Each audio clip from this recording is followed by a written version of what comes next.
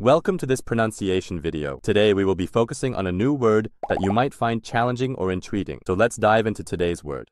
자궁, which means uterus in Korean. let's say it all together. 자궁, 자궁, 자궁. One more time. 자궁, 자궁, 자궁.